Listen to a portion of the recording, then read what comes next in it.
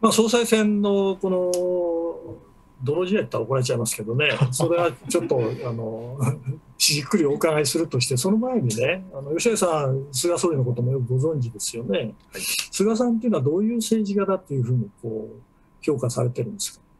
あの菅内閣が始まったのって1年前の昨日なんですよね。9月16日で、もうもうジャスト1年と1日なんですが、あの1年間でこれだけの仕事した内閣って多分ないと思うんですよ。うん。あのコロナでオリンピックだ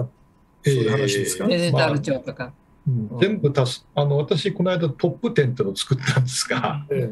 え。ー、まあ、あのワクチン、ワクチン体制、えオリパラをまあ無事に終わらせた、うん、えー、それからカーボンニュートラルの宣言、デジタル庁、はい、それからあの日米首脳会談、あの G7 などの一応の一連の外交成果。うん。6番目にあの福島のトリチウム水の処理、はいはい。えー、7番目に、えー、っと携帯、えー、値下げ、4300億円、8番目に最低賃金の値上げ、えー、これ史上最高、はい、えー、それから9番目に、えー、っと不妊治療補助、これは来年4月からですけども。で最後に安倍の内閣のやり残し法案ということで、種苗法と国民投票法と、えー、重要土地取引法、規制法。すごくないですか？それなのに、それなのになんでこれだけ人気がなくなって、やめざるを得なかった。まあ、自民党内ではみんなが支えたわけじゃないですか、最初はね。うんまあ、だからやっぱコミュニケーションの問題が大きいですよね。うん、あの今のですよね。えー、あの月刊文藝春秋の最新号にインタビューを載ってますよね。はいはいはい、であれはあの本当おかしくってあの聞いてる船橋陽一さんが最初にいきなり聞くんですよね。言葉が通じてないって きついこと聞くんですけどものすごくきつい質問だらけなんですよね。そうそうそれいきなり聞くとその答えが私は結果を残せばいいと思ってきましたので。政治は弁舌ではなくて結果だと信じてやってきた。弁舌ってね、ペラペラ喋ればいいって言ってるじゃないんですよね、私たち。うん、心がこもってないって言ってるだけの話なんで。これは分かってない。でしかもあの、えー、それで通じてないなら一からやり直したいそうそうそうその一からやり直したいって言ってるのがこれ多分8月31日ぐらいに聞いてる話で。9月の3日にはもう、あの対対人表明をするわけですから、なんかもうあのもうとにかく多分これ船橋さんここで絶句してるんだ。ろう、ね、それはほらアメリカ型のねやっぱり質問の仕方をするんでね。だけど過去にもねその言葉があんまり通じない総理大臣っていうのがいたわけでね。えー、例えば大平さんなんかもそうでしたよね、あうとかあのでも大平さんは実があったもの、分か。りましたもん。やっぱりね、問題はあのこのコロナの時ってのは、みんながあのあの不安を抱えてて、はい、あるいは自分たちの思いが通じてるのか、聞いてもらってるのかっていう、まあ、思いがあって、でそれが全然あの答えが答えになってない、噛み合わない答弁がずっと書いて、えー、しかも紙ずっと見っぱなしですから、ね、棒読みですから。それも読み間違える。広島で読み飛ばすなんて信じられませんでしたけどね。えー、もうもう一つあのあるのは、あのまあ、菅さんはやっぱ仕事がしたい方なんで、えー、こういう仕事がしたいっていうところがちょっとない人なんですよね、きっと。だからあの我々例えば小泉さんは郵政民営化がしたいとか、安倍さんは、まああのまあ、現実的な安全保障政策をやりたいとか、まあ、なんかこのミッションが見えてると割と安心できるんですけど、菅さんはこれがやりたいっていうんじゃなくて、とにかく仕事がしたい方だ。まあ、やっぱりリーダーリーダータイプじゃなかったということですね、マネージャータイプだったっていうことですね。そうマネージャーまでいかない。トップに立つ人としてはどうだったのかな。だから、あの今回の僕は自民党総裁選いいなと思ってるのは、大体あの、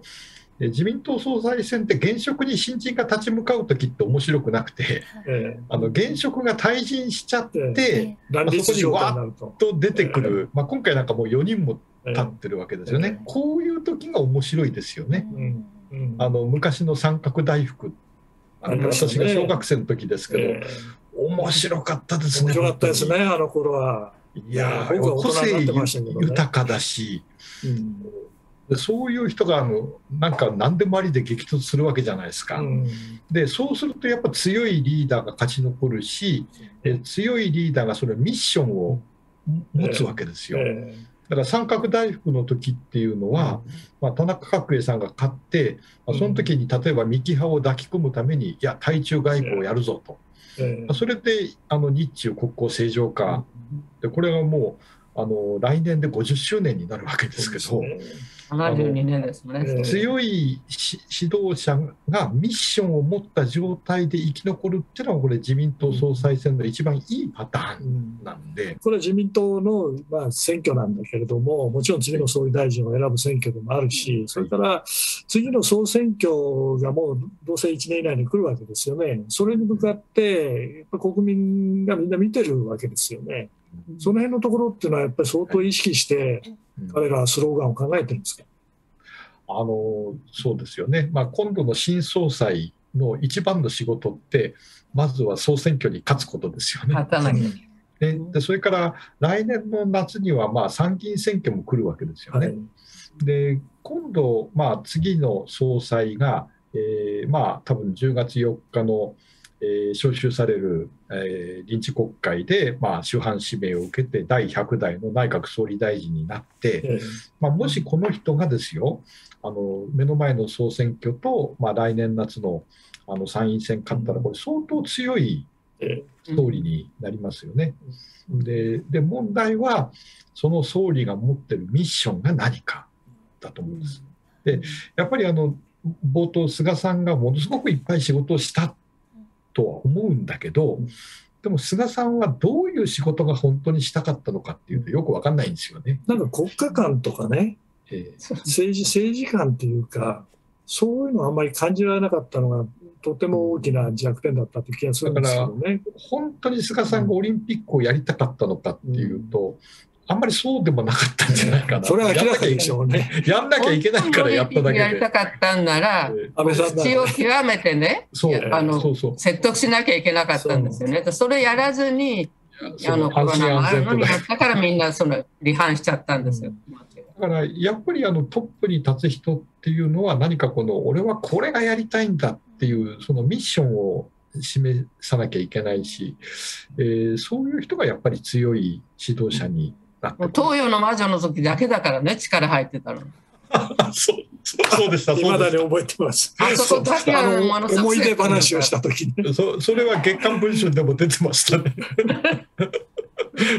だけど、あの対照的な例えば小泉さんとかね、純一郎さんとかの場合は、やっぱり郵政民営化ってシングルイシューで突破していったっていうね、あ